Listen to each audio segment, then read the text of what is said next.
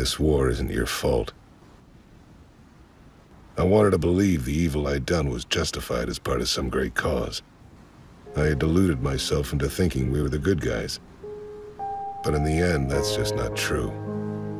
I'd attempted to ignore the fact that Marley's soul has grown rotten. As I didn't want to consider what that said about me.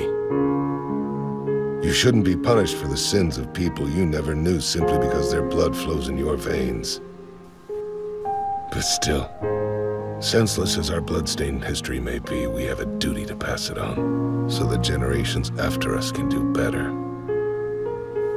As long as this wanton killing continues, our world will only sink deeper into hell. We have to break the cycle. But right now, we're trapped in it. There's no way to avoid spilling more blood today.